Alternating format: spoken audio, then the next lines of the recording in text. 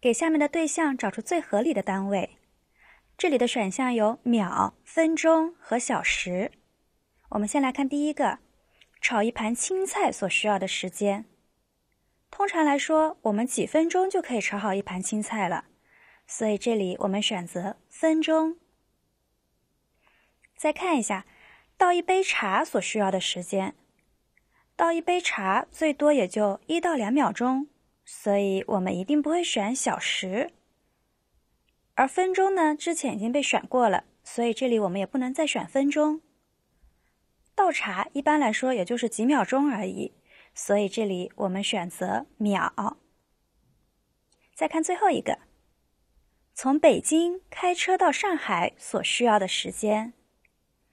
北京到上海的距离大约有一千两百多千米，这样的距离我们开车通常不会是几秒钟或者几分钟，大约需要十几个小时，因此这里我们选择小时作为单位。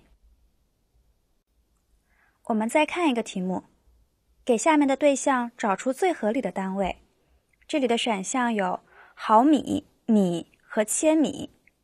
它们之间的关系是，我们可以来写一下：一千米等于一千米，一米等于一千毫米。先看第一个，一只瓢虫的身长，除非这只瓢虫是个怪物。否则，一般的瓢虫都是毫米级别的，所以这里我们选择毫米作为度量单位。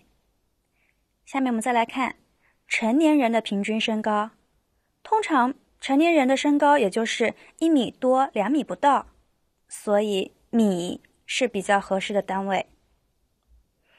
再看最后一个，一场马拉松赛的距离，我们知道马拉松是考验耐力的长跑运动。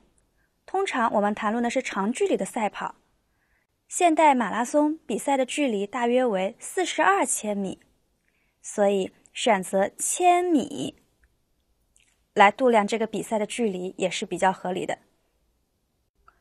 我们再看一个类似的题目，选项还是毫米、米和千米。我们先来看第一个，北京到香港的距离。北京到香港。从北到南，几乎穿越了整个中国，大约是几千千米，因此这里我们选择千米。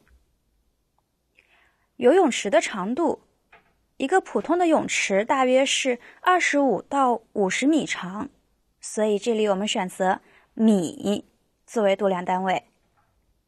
再看一片面包的厚度，一片面包的厚度显然远远小于一米，因此。毫米是个比较合理的选择，所以我们这里选择毫米。